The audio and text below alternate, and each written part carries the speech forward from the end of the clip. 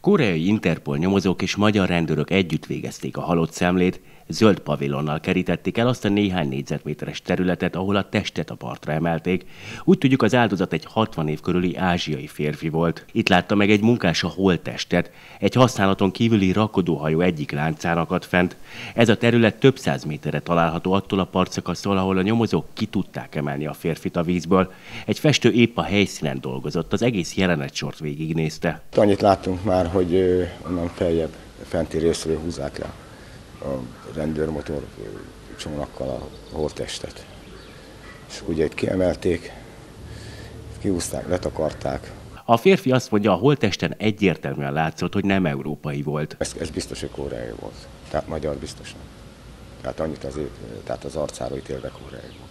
A rendőrség viszont egyelőre nem erősítette meg, hogy a Budapesten történt Dunai hajóbaleset egyik áldozatát találták-e meg. Lapinformációk szerint hétfőn Mohácsnál is kiemeltek egy ázsiai holttestet a Dunából. Közben a rendőrség már a folyó teljes magyarországi szakaszán 24 órás ügyeletben kutat további áldozatok után. Ezek a felvételek a Szent László hídon készültek, itt is folyamatosan szemlézik egyenruhások a folyót.